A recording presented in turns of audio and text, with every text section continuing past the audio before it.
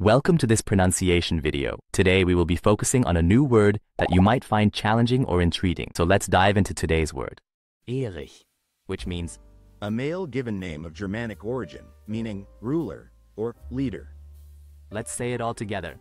Erich. Erich. Erich. One more time. Erich. Erich. Erich. Thank you for joining us on this adventure in pronunciation. Remember, language is a journey, not a destination. Keep exploring, experimenting, and expanding your linguistic horizons. We'll see you next time.